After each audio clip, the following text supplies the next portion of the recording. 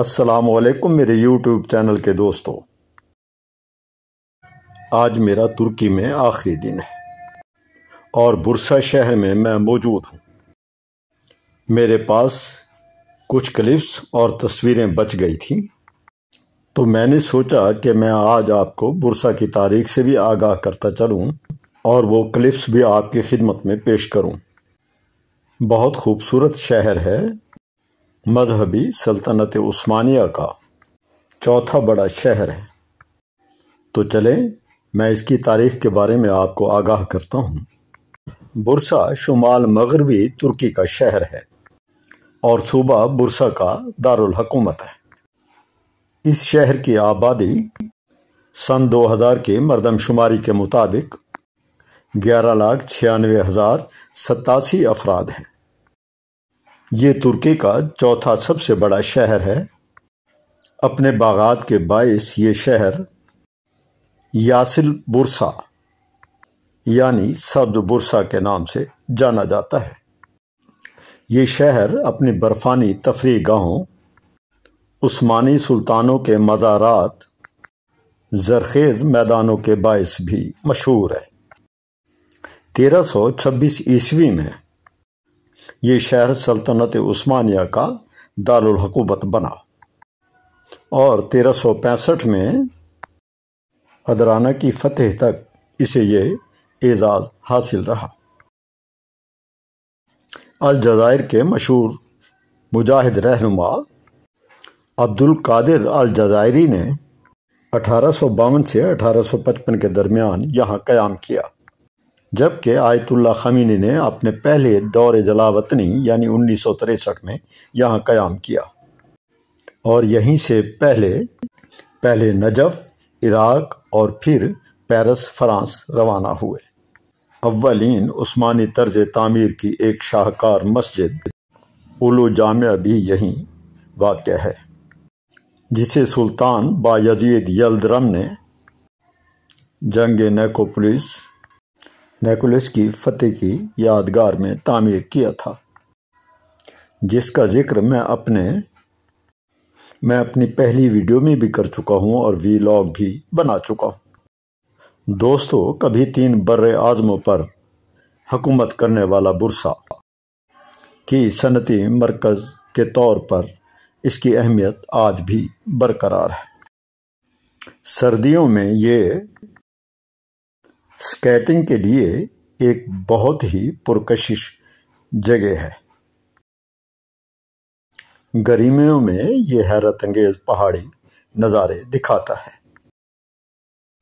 अपनी अजीब गरीब गलियों के साथ शहर के मरकज से बिल्कुल बाहर एक महफूज उस्मानी गाँव है, जो रिवायती तुर्क तर्ज ज़िंदगी में झांकने की दावत देता है।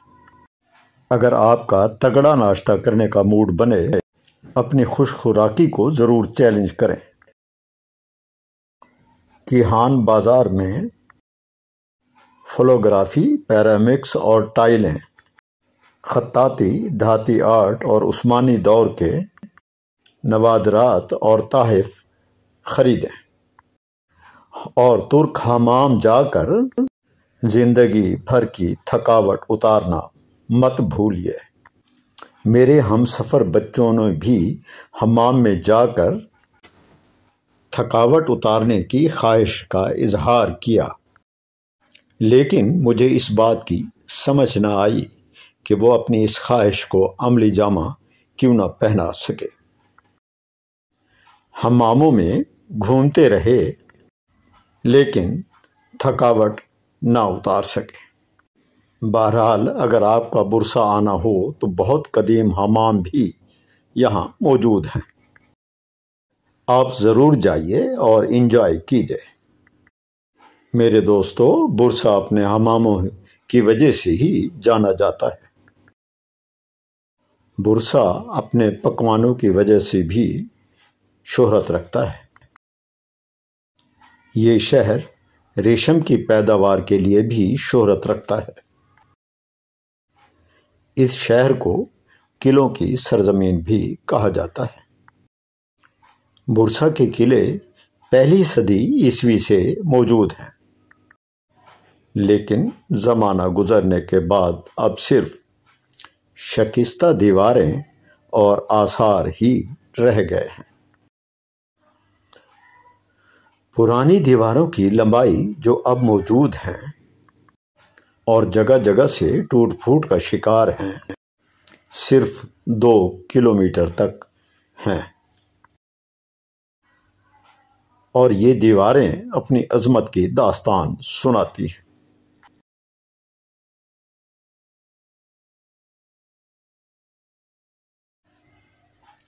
दो गेट भी हैं।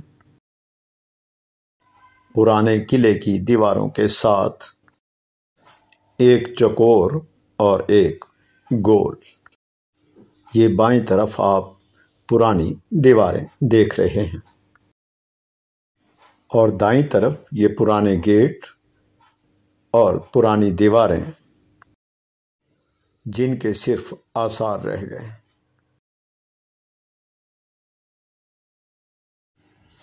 कई गेटों की तारीख 270 से 280 साल कबले मसीह की है। मेरे हम सफ़र साथियों, बहरहाल ये शहर अपनी बेहतरीन तारीख रखता है। आप भी देखिए ये दाएँ तरफ़ पहाड़ों पर वही पुरानी दीवारें नज़र आ रही हैं, जिनकी लंबाई दो किलोमीटर। यहाँ रिवायती खाने भी मिलते हैं मैंने इन साहब की इजाज़त से आपके लिए वीडियो बनाई। ये साहब रोटियाँ बना रहे हैं, लेकिन वज़न के हिसाब से।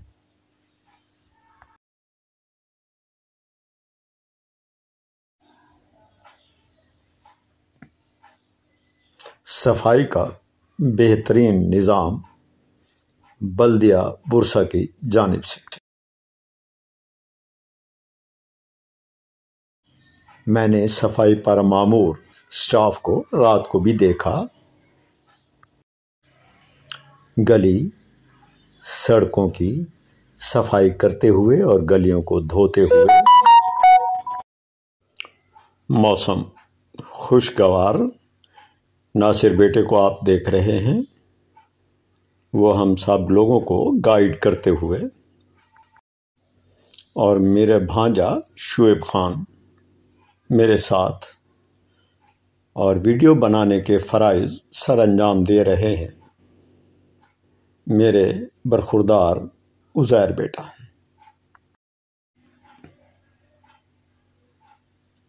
ये सब्ज़ाजार बुरसा की टाउन कमेटी का सब्ज़ाजार है। ये सामने आप टाउन कमेटी का ऑफ़िस देख रहे हैं। ट्रांसपोर्ट का मरबूत निज़ाम। लोगों की चहल पहल। मैंने बरतानिया के बाद तुर्की में भी ये देखा कि लोग एक दूसरे के मामला में मदाखलत नहीं करते। मौसम खुशगवार। चारों तरफ़ सब्ज़ा फैला हुआ। फुटपाथ साफ़ और हमवार। यूरोप और बरतानिया की तरह लोग यहाँ भी गंदगी नहीं फैलाते हैं। मेरा बुरसा का सफ़र तमाम हुआ। आप मेरे साथ रहे, आपका शुक्रिया।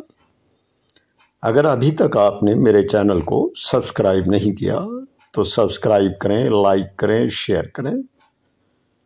अस्सलाम वालेकुम वरहमतुल्लाहि व बरकातुहू